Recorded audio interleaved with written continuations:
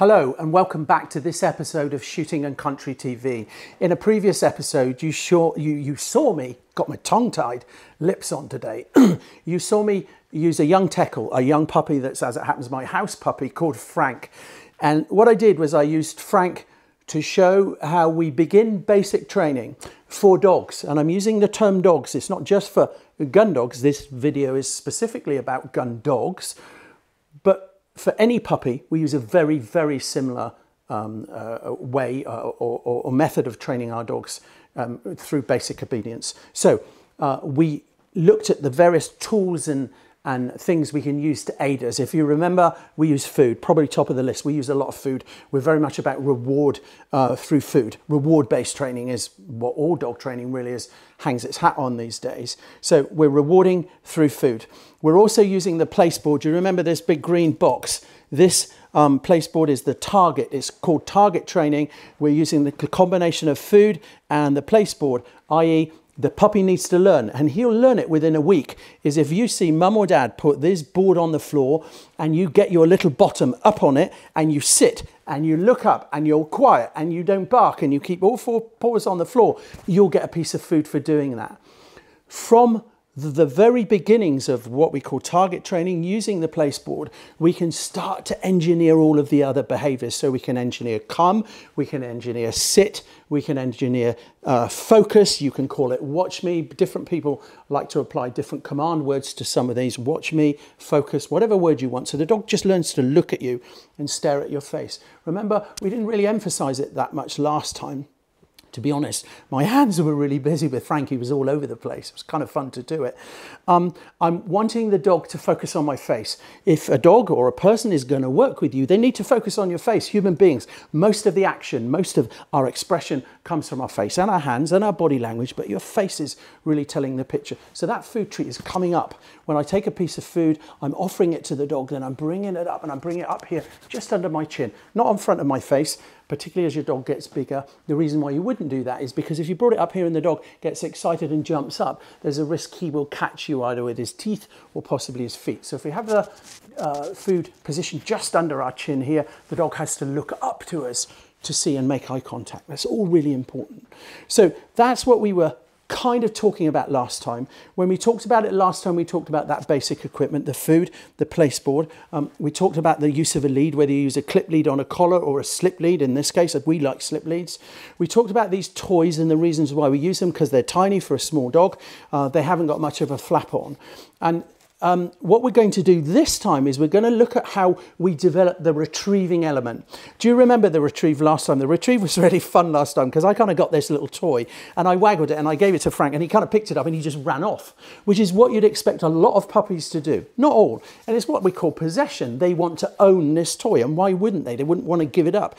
Remember, the retrieve is about getting a young dog or an adult dog to surrender its prize is a really important element of dog training, which is why I love the retrieve for all breeds. In my opinion, if a dog is willing to run out, pick up its prize and wantingly come back to you and go, here you go, mum, here you go, dad, you can have this prize and are you pleased with me? You've really got a really good relationship going with that dog. It's not about forcing a dog to do it. It's about it wanting to bring it back to you for a reward, affection, uh, and, and just that you're pleased with him. So it's a really important thing.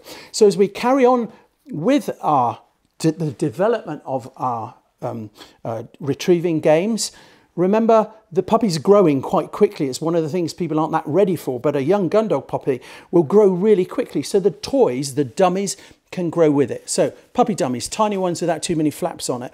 What I've got here is a couple of kind of intermediate dummies that are what we would call, that would be what we call a standard gun dog dummy. It's, it's a canvas bag of sand or sawdust. Um, it's, it, this one's a particularly lightweight one. It's not a heavy one because we're still with a young dog. It's got a toggle on it so we can really wang it a long way. Um, all of these things are things we're moving towards. In this video, we're going to see and show you how we take Frank from where, he, not Frank, I apologise. We're going to move to grown-up gun dogs now. You'll be really pleased that we're going to use proper gun dogs.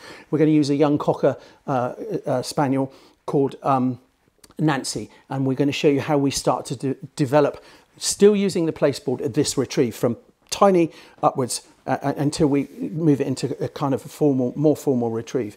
This bigger dummy requires a bigger mouth. It's heavier. Your dog won't just be able to carry heavy things. He needs to develop the the power in his jaw uh, and the ability in his neck to lift bigger weights. So it's really important we don't give a dog a dummy that's too heavy for him, otherwise it will make life difficult. Well, we're just on that subject. We talked about I gave Frank a puppy toy while he's still tiny. It's important you're aware that at that point in the dog's st uh, stage of life, he still has tiny weeny puppy teeth and they start to fall out. He needs to chew. They can become unpleasant for him. So be careful with your retrieving be careful with your retrieving or maybe don't do any retrieving at all at that early, early stage while their teeth are transitioning because you could have a puppy that ends up with an association with pain every time he picks up a toy, which would put him off because if every time he picks up the toy his little teeth hurt because they're hanging out, he thinks, oh, nasty, I don't want to pick things up. And that is really important. As we said, gun dogs, we want them to have a retrieve. So, um, uh, be careful with a youngster like that. It also, if we delay the period before we bring our puppy into proper retrieving, by the time they get to having shed all their teeth, they, you will have established a really strong connection with these place boards.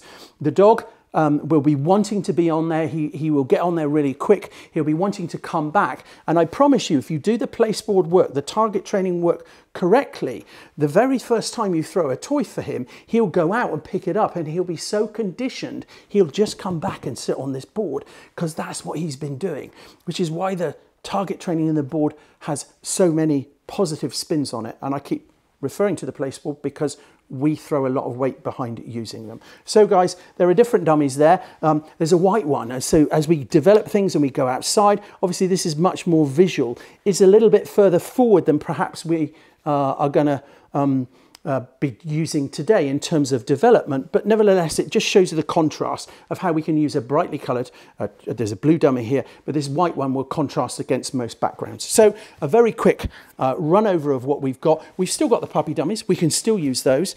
Uh, we've got this round dummy that comes in, they're brilliant for really, you can get a lot of distance. Distance isn't something that necessarily we want to be doing with a young dog at this stage, but we're just starting to show you how um, Sporting Saint have gone to enormous length to develop all of the different types of dummies with these lovely patterns on shapes, weights, textures. Um, we talk about texture. Remember, we referred to the rabbit ball last time and said how this will be a really high value toy for most dogs. It rolls and it's fluffy. Um, you can make it smell nice. You can put all kinds of scent on there to make it smell really nice. So thank you again to Sporting Saint for, for the pro provision of all these lovely dummies. Um, so guys, that's the kit we're going to be using today. What we're going to do now is we're going to go uh, outside. It's raining. It's absolutely disgusting out there today. Um, but what we're going to do, we're, we're going to go into our barn for two reasons. One, because it's raining and I don't want to get wet. Um, and two, because as it happens, the transitional retrieving, we want to think about what we call classroom choice. Do you remember in the first video, we uh, the first episode, we did everything in here with Frank, and that was for good reason. It was done in my kitchen because we can minimize the distractions. There are enough distractions in here. When you go outside, most dogs are really distracted. I don't want them to be too distracted. I want them to be focused on me. So by using the right classroom, if you go out in the middle of a pheasant pen and expect your six-month-old puppy to retrieve these, you're probably going to be unsuccessful. We're going to make a transition from indoors to we're very lucky. We have a training facility where we have what we call our barn, and we go in. We're going to go in our barn, which has a hard floor. It has distractions in it, but it has much fewer distractions. It's going to be easier to train the dog. Lots of things to think about: classroom choice, food management, dummies, um, place boards. There's a whole raft of exciting things for us to think about, to learn about, and you really need to learn about this stuff before you put your hands on your dog. Otherwise, you'll mess it up and you'll mess your dog up. So um, uh, look forward to seeing you in a minute. We're going to make our way to the barn uh, where we'll show you a young cocker called Nancy and we'll start to develop uh, the rest of the retrieving skills.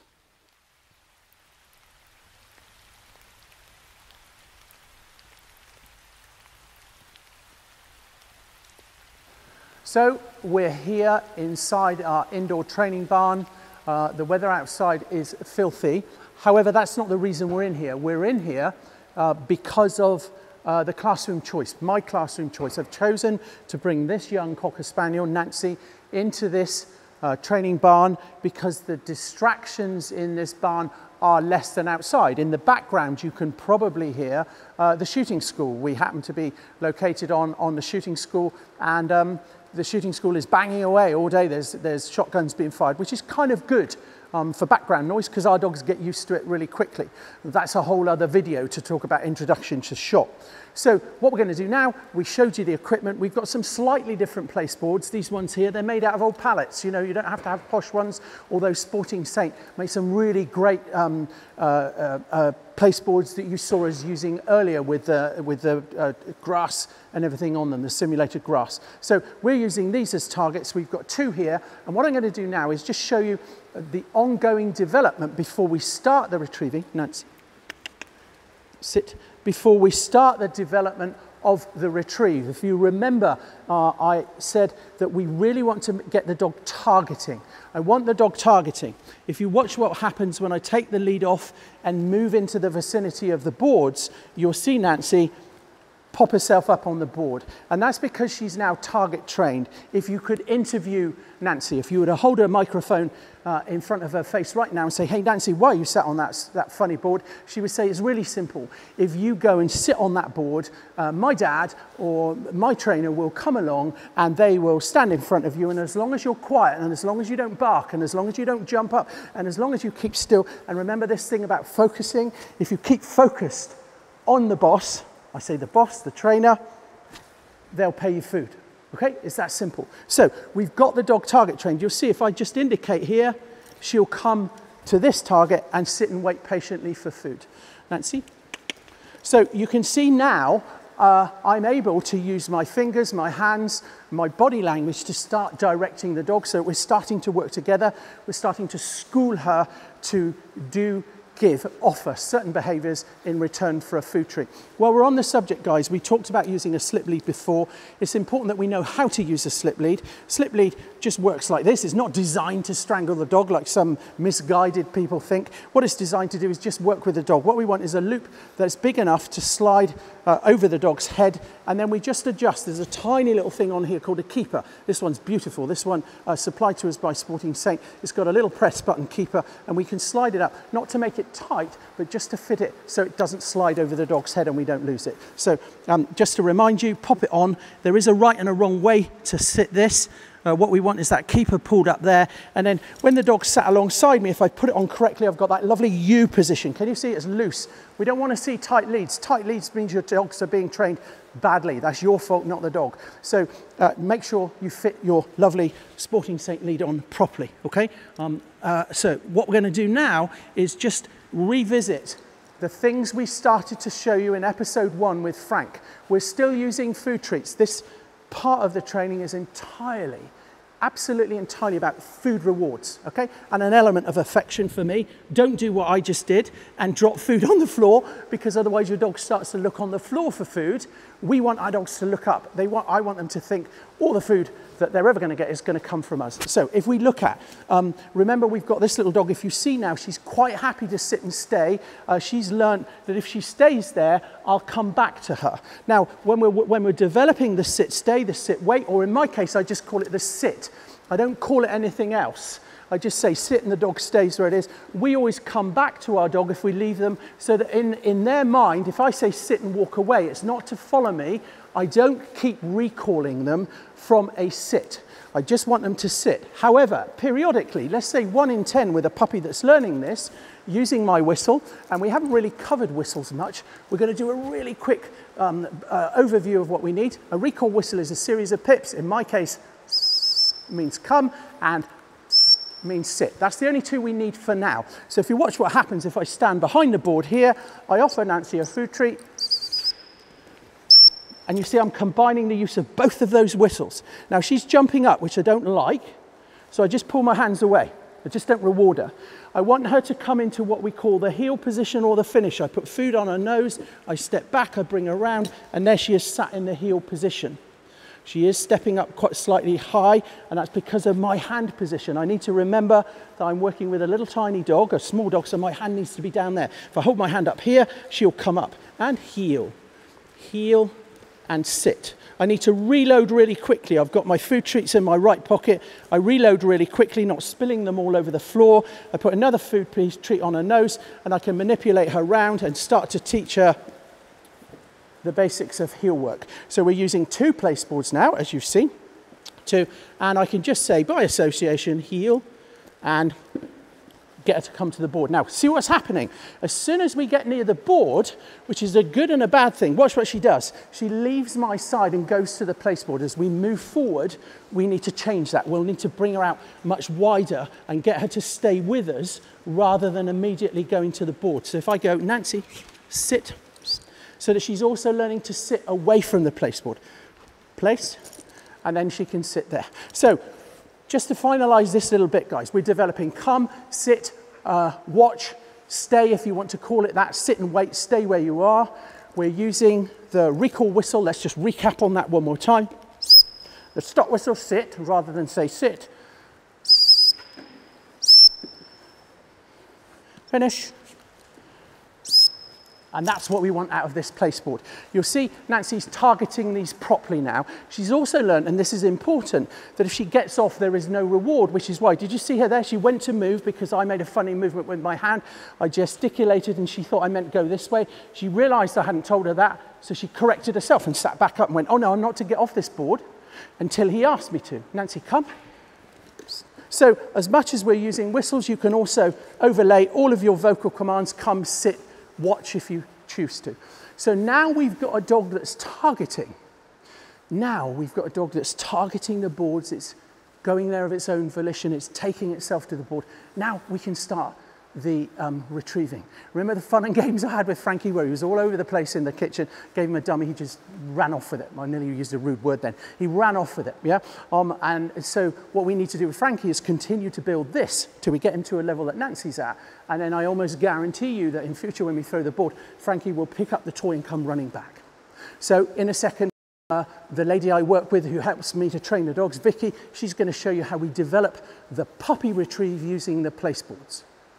You can see I'm joined by Vicky, my training assistant, uh, the lady helps me train the dogs. Uh, Vicky's still got Nancy with her, and we're going to look at the puppy retrieve, the beginnings of the puppy retrieve. We're saying get down with the dog. You see, Vicky sat on the bottom. You see, the place boards are still there. We've joined two together, one so that Vicky can sit on it, and one so that Nancy can, has room to get up. L Vicky sat with her feet slightly apart, so she's welcoming the puppy, and all she's going to do in a second is take this little puppy dummy. She's going to waggle it about in front of Nancy's face, get her focus. As soon as she's focused on it, she's going to pop it out in front front of her and hopefully Nancy will run out and come back to you. Why would the puppy come back to you? Well, it's because you're sat on the floor. It's the attraction of coming back.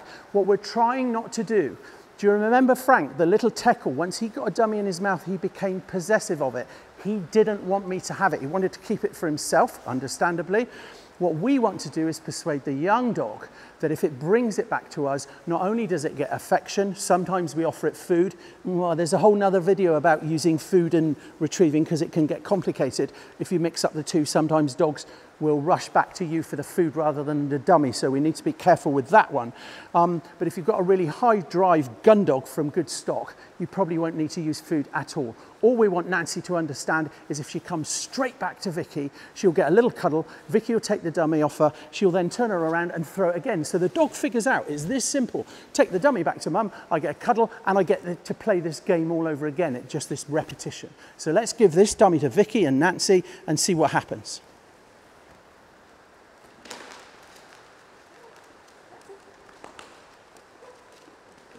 There's a little bit of confusion there where the dog chose to come back to me. because she's having fun with Vicky. So all Vicky's going to do, so this is all about fun. This isn't about control. I say it's not about control. Vicky's actually hanging on to Nancy and keeping her there. If you want to set her up again and repeat that exercise, Vicky, I've stood behind Vicky in the hope that she'll come straight to her and not. Look at the way Vicky's holding the dog just restraining it momentarily. And as soon as the dummy goes out, Nancy wants to come to me but she's gone back to Vicky now, more fuss, more affection, and we're starting to build the beginnings of what we call a play retrieve. Now, Nancy is clearly a slightly older dog. She's not a tiny puppy, guys. You can start this exercise, this puppy exercise, probably from um, you know about 12 weeks of age. If you think about the time frame, if you've been doing four weeks placeboard training from eight weeks to 12 weeks, by the time the puppy is 12 weeks old, it will be really targeting the board. And in targeting the board, we can then start to um, uh, use both Vicky as the target, Vicky's the target, the board's the target as well. See how Vicky tapped her hands on the board there to encourage Nancy to come back to her. So that's a puppy retrieve. It's a bit of a quick overview, but that's how we start our youngsters going. So they're volunteering to go out and come straight back for affection and the fact that they get to get the toy thrown for them again. And as you can see, the reason why you wouldn't want a spaniel is because they're nuts, but they're great fun. As we progress through retriever training, we go from the real puppy kind of retrieve and we start to formalize things. Alongside of the retrieving, don't forget, we're doing all this kind of formal basic training, the come, the sit, um, the watch me, come, finish, sit. Sit. You can say stay or wait if you wish to add that word in. I choose not to.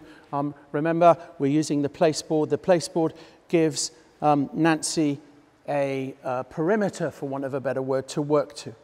So as we raise those stakes, if you remember at the start of the episode, we talked about the different dummies. You saw Vicky using one of these puppy dummies for Nancy. We slowly but surely want to move her up through till she's maybe using this um, traditional two pound dummy, which is a big dummy for a little dog. It takes a while for them to develop, to develop the jaw strength uh, and the neck strength. So uh, what we're going to do first is look about how we, we move from, do you remember Vicky was sat with the puppy between her her, her legs. She was holding onto it. She was pitching the, the dummy out. No restraint whatsoever, just letting the dog go. We want to get to have the freedom to chase, to pick up and bring back to you. You then make a fuss and repeat the exercise a couple of times before you finish the game and swap it out for maybe a, a chew so the dog doesn't feel hard done by. We've now got Nancy to a stage where she will work for both food and dummies. She's, she's excited by both. And, and again, I can't emphasize we haven't really talked about breeding. That's a whole nother video. Again, I keep referring to this. So much to learn about gun dogs. But the truth is, well, there's no way we can capture it all in one video. Um, hence, you need to watch all the other episodes. Um, but uh, we are combining with this dog the use of food and dummies. And I can do that because I've made sure that she's always wanting food. I manage her food so she's sleek and fit and slightly hungry but not starving. I don't want her to be in a poor condition. I need to maintain that using the excellent Chudley's dog food that we, we use all the time here. Um, uh, but also, I need to maintain that interest in dummies. When you go into good gun dog stock like this that comes from high drive um, uh, uh, uh, breeding, you will have a dog that will interact and will interchange between food treats one second and then a dummy if you do it properly. So let's look at how we move things on. So what I'm going to do is bring Nancy into my side. If you remember before, she was retrieving from between Vicky's legs. Now we've got her sat in what I would call the heel position from the point at which we would normally line a dog up and start to send it out. So what I'm going to do is I'm going to ask something a bit different of Nancy this time. Last time, as soon as we threw the toy, the, the, the dummy, the dog went straight out and picked it up. Now I'm going to ask her for a little bit of self-restraint. So now I'm going to emphasize the sit, sit, and all I'm going to do is carefully just put that dummy on the floor behind me. You see, my body language is saying stay where you are. What I like to do is pick the dummy up and take it back to the dog, and she can have a hold of it.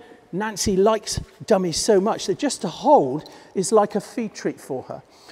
From when we were filming with Vicky, I've still got two placeboards joined together, and the two place placeboards mean that she can move around a bit more than I want her to. So I'm just going to push one out of the way and we're just going to focus on the one, one place board because that gives us location and keeps her where we want her to be. So once we've got a dog, that will sit and wait while we drop a dummy. We can open the gate, we can pick it up, we can take it back and we can reward Nancy with it. Uh, sometimes I come back and I just give the dog a feed treat. So I simply come back to here and give her a feed treat. Uh, either way, she's getting rewarded for what she's doing. There's that finish. What we want in due course is that I'm able to picture dummy from here. You can see, so in her excitement then, bear in mind she's done this before, you know, we're cheating slightly, we're using, hey, so I just gave her a tap there because on the chair is all the exciting dummies. And on that chair is a dummy, the rabbit ball, that is slightly higher value. So she's got to go and pick that dummy. So now we've got a dog that's sitting and waiting. We built it up as I've just shown you. Now I want to align her. So I'm starting to bring in this hand. Whilst the dog, you see the dog is focused on the dummy, not the hand. So while she does that, I won't send her. Now I'll say fetch or back. she'll go out there, I'll tap the board. Ah, ah, ah, Nancy, now, that's an interesting one. Professional fault. What I've done, remember I talked to you about distractions. I've for the purpose of the video, shown you all these lovely dummies from Sporting Saint. Stupidly, I've left them on a chair right next to where I want her to retrieve. So understandably, because I know that what she's really after is this rabbit ball, because, hey, Nancy knew, come on, Nance.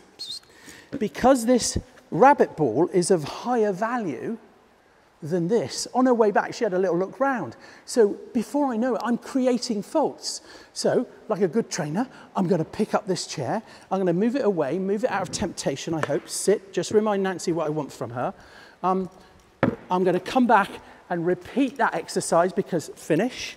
I want her to do what I asked her to do properly. I want her to go straight out and straight back. So she's still going out there, isn't she?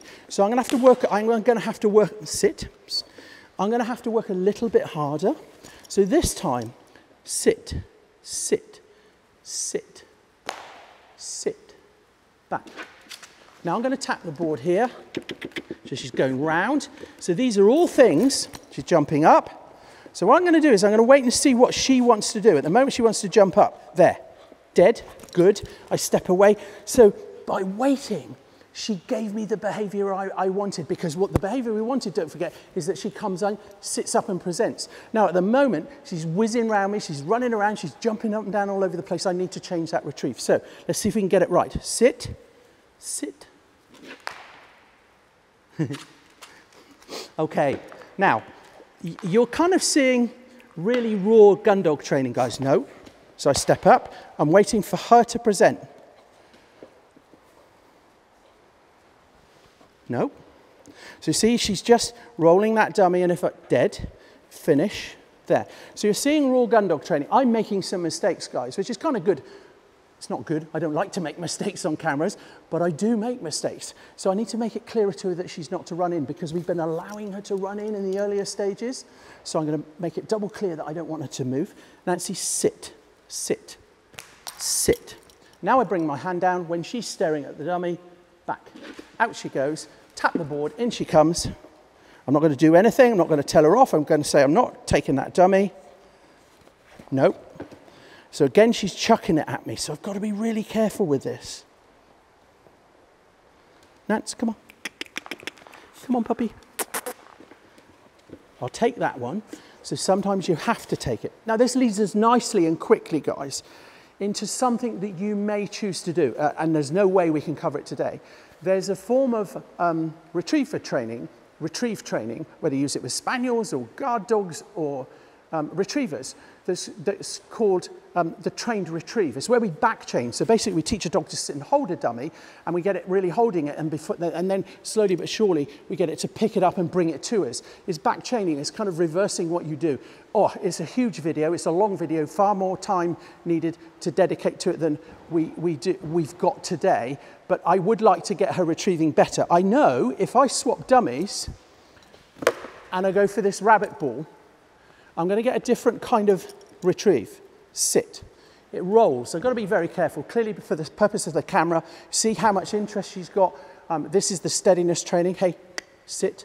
Just a reminder, a little tap with my hand. Back. Let's see what she does this time. In she comes to the board. Come on. Sit. No. Sit. So she's just wiggling her head about. You see, she's not willing to really offer that to me. You can see how much work we've got to do. All of these problems that I'm having with Nancy at the moment are things that I want to groom out. Long term, I want her to come straight in, boom, sit up and deliver to hand. We'll show you a, a, a, a trained dog later on in, in, this, in the session. So guys, we're using different value toys. This is really valuable. Nancy would hang on to that all day. Um, uh, she likes it. It's slightly harder to get out of her mouth. The big dummy is what we want her to move to. We need to, to, to develop in her ability to carry, carry different shaped ob objects, heavier objects, um, different textures as we move forward. Right now, my main focus is that I've got a dog that when I throw a dummy, it sits and waits, that when I point at the dummy and say back or fetch, whichever you choose, or get out, doesn't matter what word you choose as long as it's one that your dog understands, that the dog will go straight out and come straight back to me and willingly deliver. There's a little bit of what I call possession, a little bit of fun, a little bit of excitement. It's not a big deal. I know I can groom it out, uh, and, and, school it out of her, but I need to do some more place board work. I need her to come straight back to this board, okay? So you saw earlier when there's no toy involved, she goes straight to the board. Right now she's wanting just to go round me and have a little bit of a fiddle about. So there it is, the beginnings of a retriever training. Loads to think about, guys. Study, study, study, watch videos and watch the episodes that we keep producing on Shooting and Country TV. I hope you've liked what you've seen today. As I said, we're trying to give you raw footage. I would prefer that everything went perfect.